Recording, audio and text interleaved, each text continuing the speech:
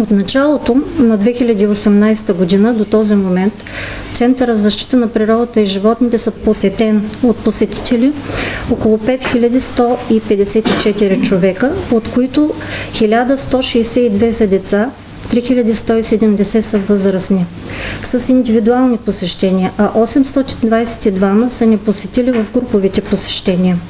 До момента са организирани при нас 36 празненства и са продадени около 19 семейни карти. Приходите ни от началото на годината до този момент възлизат на 9545 лева.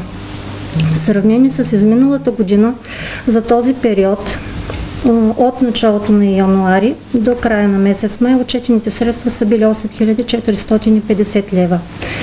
Наблюдаваме засилен интерес към организиране на празненства и за целта е въведено записване и предварително запазване на ден и час. Това може да се направи или по телефона, или на място. Така че всеки желаещ да има възможността да избере местото, на което иска да отпразнува своето събитие. В списъка ни вече има записани празненства и за август месец. Увеличили сме местата за организираните празненства и с това се надяваме повече желаещи а, да могат да прекарат при нас приятно сред природата и животните. Все повече обаждания получаваме и от други населени места извън град Добрич, с засилен интерес не само за посещение, но и с желанието да прекарат един ден сред природата и да се възползват от услугата пикник при нас. Обособихме повече места за отдих и почивка на посетителите извън тези празненства. Те са направени от природни материали, дървени масички, пънчета. Разположени са на различни места в центъра, където всеки, който желае да се наслади на природата и да наблюдава животните, може да направи това.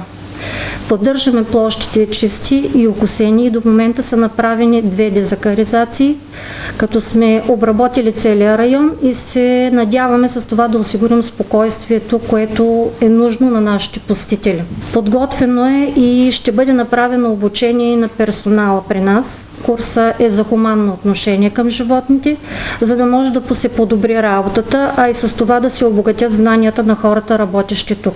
Зеленото училище отваря врати на 4 юни и ще продължи до 27 юли 2018 година.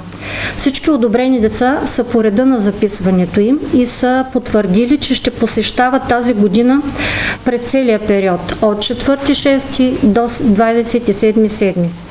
През тази година, за съжаление, се наложи броят на децата да бъде редуциран в зеленото училище, като бройката им от 20 стана на 12.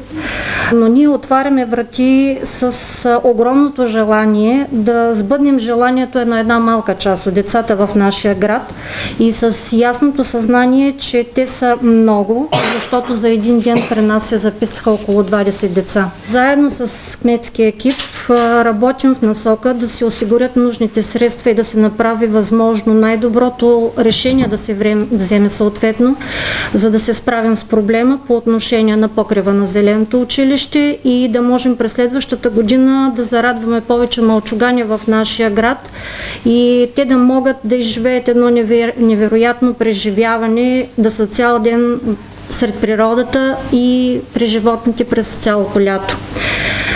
През тази година сме много щастливи, за да ви уведомим, че се здобихме за първи път с шотландско пони, което е родено на 12 март 2018 година и неговите родители са Маша и Некропол. Съвсем наскоро семейството Куна и Игор се здобиха с една малка красавица, която се роди на 30 април 2018 година и тя ще носи името Искра, кончето на Прижевалски. да.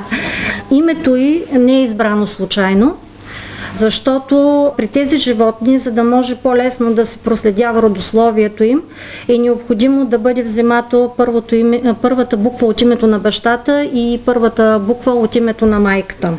И така се получи нейното име Искра.